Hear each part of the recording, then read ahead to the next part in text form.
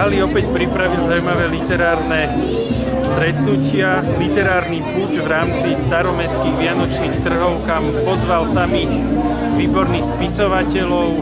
Príďte sa pozrieť kedykoľvek až do Vianoc s jedinou výnimkou medzi tými dobrými spisovateľmi. Inak to bude 13.12., lebo vtedy bude Pavol Rankov.